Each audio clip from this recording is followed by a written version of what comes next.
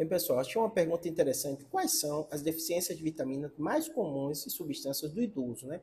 Em primeiro lugar, você entender que nem todo idoso precisa suplementar, mas com o envelhecimento, uma série de mudanças acontece no corpo, dificultando a absorção, ele perde um pouquinho de fome, né? Uma série de alterações, né?